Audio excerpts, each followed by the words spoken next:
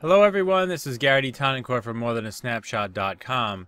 I wanted to give you a little quick tip in Lightroom about how to use these menus.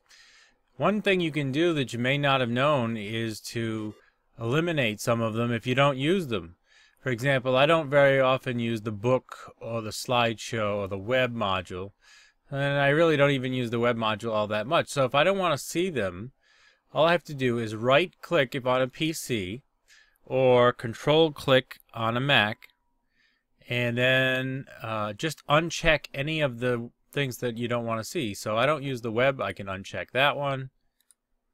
And let's say I uncheck slideshow and uh, map and book.